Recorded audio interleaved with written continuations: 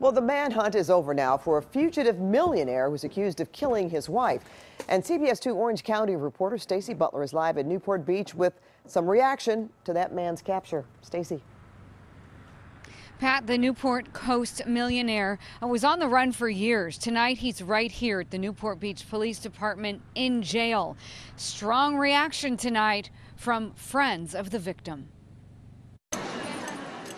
Peter Chadwick needs to answer for what he's done. Sporting a beard, escorted by Newport Beach police and U.S. Marshals, 55 year old Peter Chadwick looked calm in chains and shackles after four years on the run, wanted for his wife's murder. It's just absolutely wrong that he got away with this for so long, that he evaded capture. Former neighbor and longtime friend of Chadwick's wife, QC, Karen Thorpe, knew the Chadwick family well or thought she did.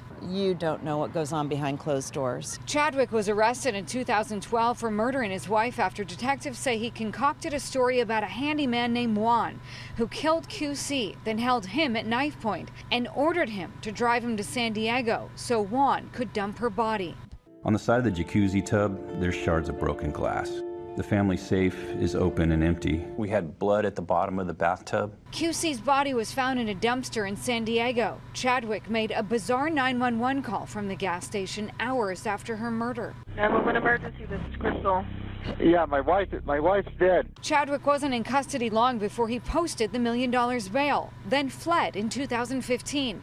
He was on the U.S. Marshals Most Wanted list. The international manhunt ended Sunday in Mexico. Today, officers marched him through LAX and drove him to the Newport Beach Police Jail. I want him to get justice, and I believe justice is for him to serve the rest of his life in prison.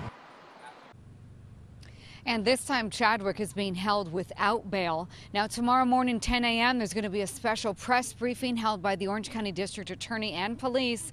They're going to talk about details, just what led to Chadwick's arrest. That's the very latest from Newport Beach. Back to you guys in the studio.